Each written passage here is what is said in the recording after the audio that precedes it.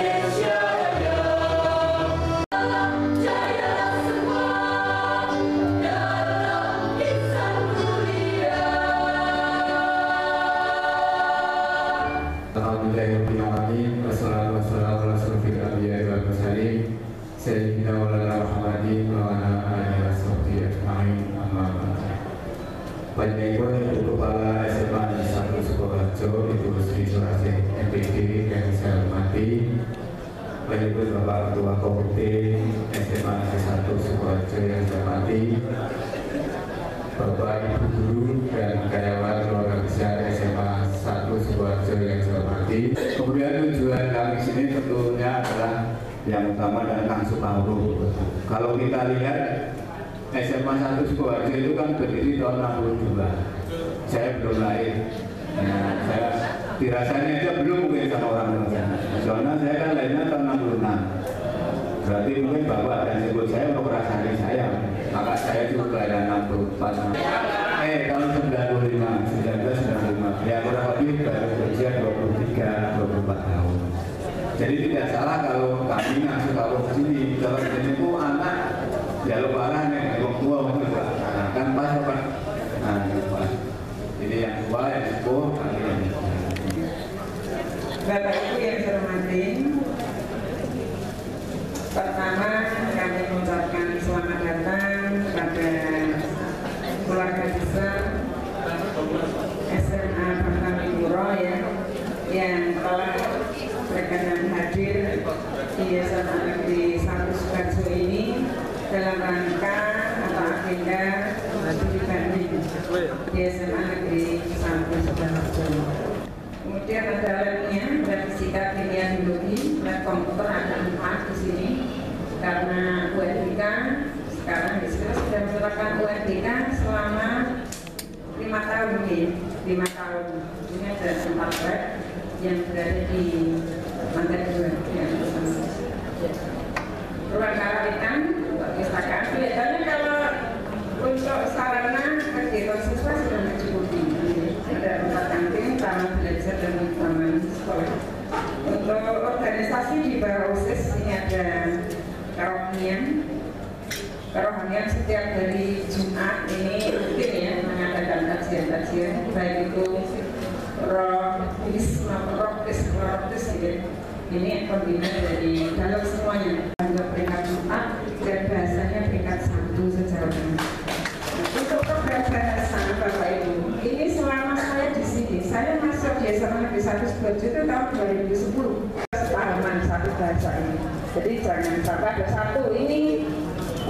Membolehkan ya satu melarang jadi anak-anak itu banyak yang namanya anak kan menyimpang sama dia. Menyimpang itu sama dia karena memang taat pada aturan itu berat ya kalau tidak terbiasa kalau sudah terbiasa nanti menjadi ya ringan ya. Demikian mungkin bapak ibu intinya bahwa kami bekerja setelah ikhlas ya. Ini kami percayakan untuk bila negara ya dalam latihan kepemimpinan kepada kerjasama dengan IONIF 413 nah, kami kerjasama karena kami juga menyadari bahwa kemampuan kami untuk latihan kepemimpinan ya dan bila negara mungkin tidak mencukupi karena dengan kita pasrahkan kepada ahlinya nanti lebih maksimal lagi mungkin. Insya Allah nanti kita bisa bertemu lagi ya. Nah, ini Bapak Ibu semua selamat melanjutkan perjalanan, mudah-mudahan lancar sampai tujuan, nambah fresh ya, seger, nanti motivasi bekerja kita lebih maksimal.